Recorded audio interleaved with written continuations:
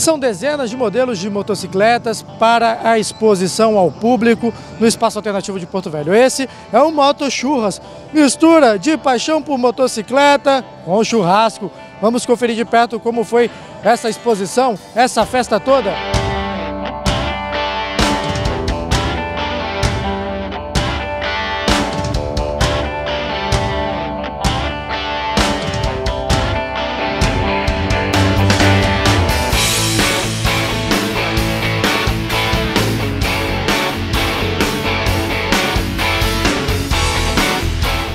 E essa é uma trajetória que iniciou em 2011 através dos clubes dos bandoleiros e que vai passar mais detalhes comigo.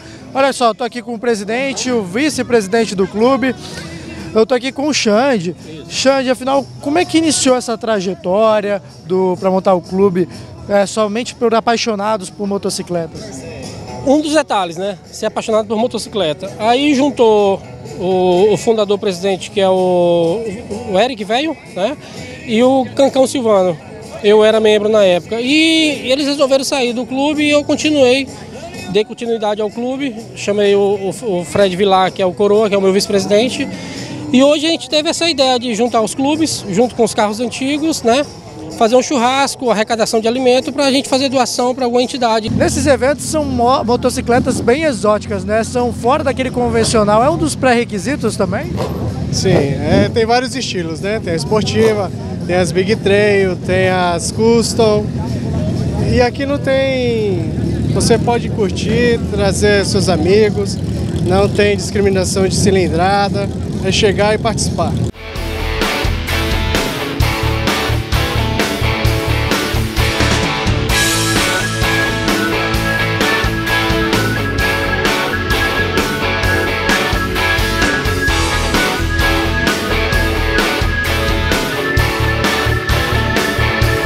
Márcio, por que, que a empresa acaba ah, embarcando também nesses eventos que envolvem o clube de motociclistas?